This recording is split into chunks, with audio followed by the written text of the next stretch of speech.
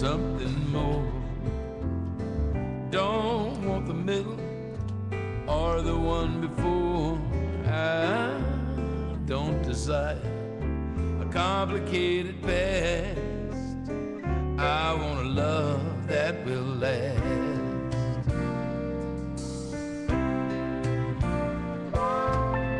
Say that you love me. Say I'm the one. Don't kiss and hug me and then try and run. I'm through with heartache and living too fast. I want love that will last. I don't want just a memory. And that's Steve Tyrell from his latest I'll Take Romance. Hey, Steve, sounding pretty smooth. Thanks, man. That's a friend. That's a song that uh, David Foster and his wife uh, Linda wrote that I always loved, and uh, that's how I like that song. I haven't heard it in a while. Now I'm off making a new album, you know. So I, when you put these uh, songs on and I'm listening to them, I go, "Hey, man, that sounds pretty good." Well, let's let's talk And then I- about your new stuff and where to get your CDs. Yeah, back in the day, we used to go to the record store, and that was kind of the place to do business. But nowadays, you I can know. How is it done nowadays for our audience out well, there? now I mean, it's pretty much you know iTunes and Amazon.com to get my stuff. I mean, there's not even a, a you know, it used to be Barnes and Noble was good and Borders and those kind of places, and of course Tower Records. And but now they- they're pretty much pretty much all gone. You know. Do you have a website, Steve? Yes, yeah, SteveTyrell.com. Okay. Can people buy your um, albums Yeah. off All there? right. So they send. I, yes, they can, and they they send it to uh, to Amazon too. Oh, perfect. Of course, nothing nothing better than seeing somebody perform live and in con- concert. I mean, that, uh, I mean, for my, for my money, that's yeah, just the but way, you know, always we don't sell any albums, or we don't keep albums. Give you a chance to continue to do new music. You know. Right. I mean, it used to be that you could make money at it, but uh, but the albums give you a chance to like, you know, do some new arrangements and come up with something else. And, like I'm doing an album right now that I'm very excited about. It's it's an album of Sammy Cahn's songs. Oh, great. Uh, And his, he's celebrating his hundredth birthday this year. Wow. So his centennial will be in 2013. And uh, I've uh, his wife Tita, uh, his widow, has always been a big fan of mine, and she gave me a couple of songs that nobody had ever done. They're great, and I started playing them a few months ago. And people love them, and uh, you know they have a Sammy Cahn. He won five Oscars, and Ah. I mean he's truly, truly one of the great writers of the 20th century, and have some original stuff. Kind of led me to doing a, a whole album of his music, of his songs, and uh, that's going to be my next album. What a great I idea. Probably won't, probably won't come out until, until May, but they're going to in, in December when I play the Carlyle Concord's going to like an EPK of five or six of the tunes, so people can hear a little bit of what it's going to be. Because he wrote some great Christmas songs too. Beautiful He wrote uh, ones. "Let Let It Snow," you know. beautiful. Did he? Yeah.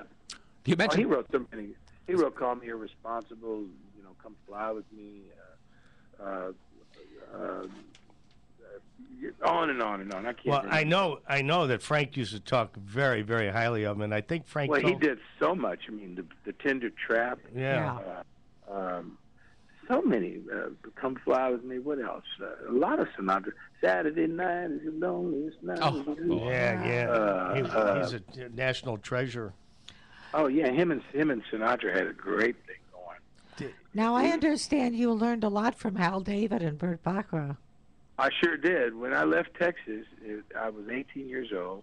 I got a job working for Scepter Records, which is a was a rhythm and blues label, as a producer and a promotion man. And uh, I just fell right in immediately to working with Burt and Hal. They were just really getting rolling with Dionne Warwick, you know. And uh, I was kind of the kid on the team, and they listened to me like you always listen to the young guy, right? They thought I knew something. but I was more in touch with what young people were listening to than they were. And so we made it formed a good team, and we were very successful for about ten years.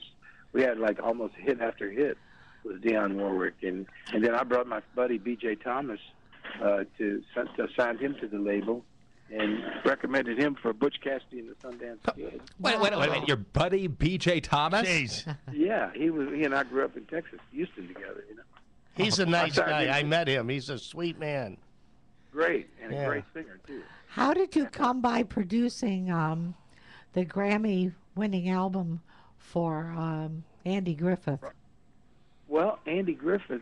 I was going to say Rod Stewart, but because I did one for Well, him that too. too. Uh, and and uh, but but uh, but Andy was really loved my performances in Father of the Bride. That's and he loved those songs I did in it, and he got a hold of me.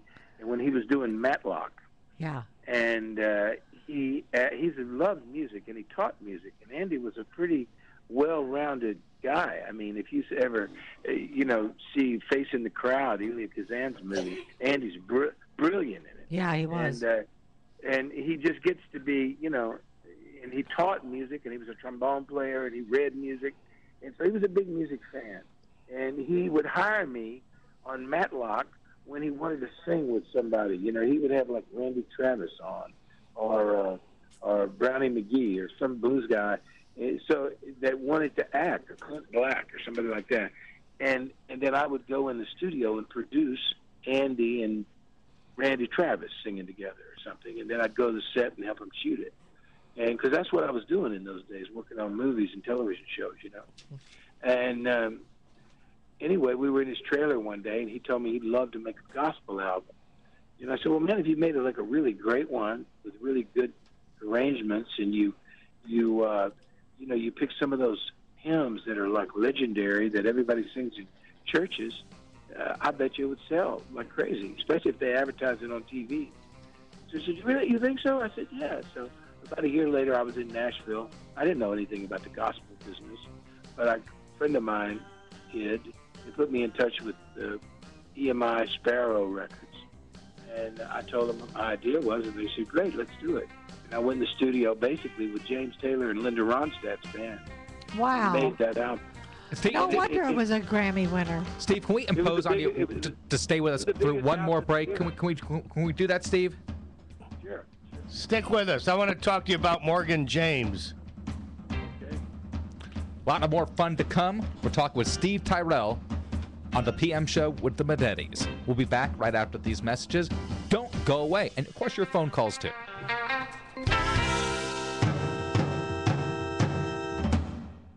This is Larry Manetti. It's summertime now, folks. So if you want to go out and play golf or go swimming and you're